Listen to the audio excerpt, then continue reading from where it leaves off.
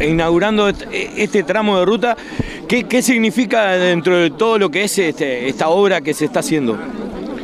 Bueno, e, es sin duda una, solución a un reclamo de muchos años de la gente de Raigón, ¿verdad? Ustedes recordarán que hace años que se viene reclamando una mejor seguridad en el acceso a, a, Carraigón y aprovechamos la oportunidad que estábamos construyendo la, otra rotonda, la que viene eh, del Bypass Sur, este, y en el momento de encarar esa obra entendimos que era lo más oportuno hacer las dos y ya dejar resuelto al, poder este, generar un, desvío del tránsito, este, encarar las dos obras al mismo tiempo. Y, hoy es lo que estamos habilitando, ¿verdad? Ahora en un ratito ya va a quedar habilitado. Y este, no solamente brinda seguridad a la gente de Raigón, también a los que transitan por la ruta.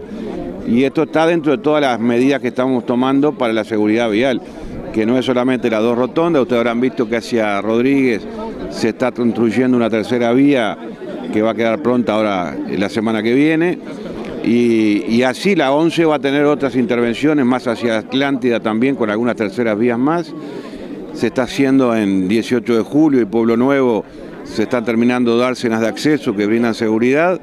Nos está faltando eh, para este año que vamos a seguir construyendo el acceso a Ituzaingó, que también pretendemos generar un ancho de faja para dar una dársena segura. Y después de, después de la temporada se va a encarar la otra rotonda que es la de Capurro que no va a dar para terminarla antes del verano y por tal motivo como hay un trámite de expropiación este, se va a encarar inmediatamente después que termine la temporada turística, o sea que va a quedar desde Santa Lucía a San José la ruta eh, con todas las seguridades que se recomiendan por parte de Ingeniería Vial y es una de las tantas obras que estamos haciendo en todo el país que tienen que ver con acompañar obras de infraestructura este, de acuerdo a la, siniestrabilidad que se está teniendo a nivel país, que es muy alta. ¿no? Ministro, eh, mencionaba el bypass. Eh, ¿Cómo marcha ese tramo de, obras, el puente que incluye?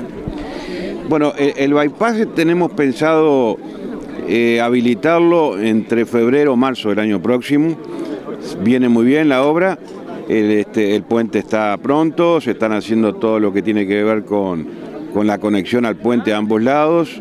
Ahora en el mes de octubre nos va a quedar el pedacito este que une la 11 con el camino al Éxodo, que se va a estar arrancando fines de septiembre, primeros días de octubre.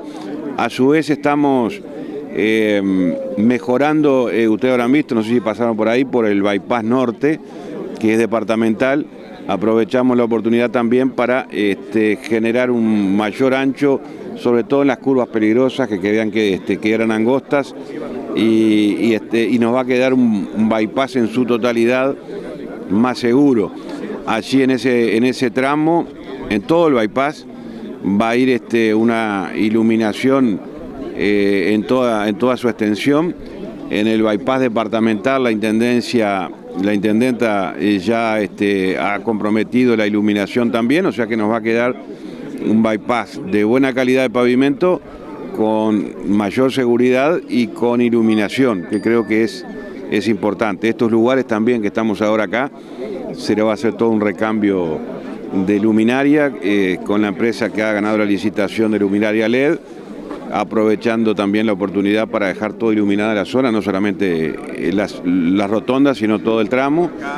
Y ustedes habrán visto que entre rotonda y rotonda ya hemos hecho un recapado general como para que brindemos también un mejor confort a la ruta en sí, que va a estar acompañada por una, una obra de igual manera que esta hasta la calle Herrera, o sea que nos va a quedar eh, todo este tramo de Raigón hasta Herrera este, con un recapado general que, va a permitir acompañar también lo que es la, gran obra que está haciendo la Intendencia en la calle Herrera y de alguna manera va, a jerarquizar, entendemos, el acceso este a la ciudad de San José también.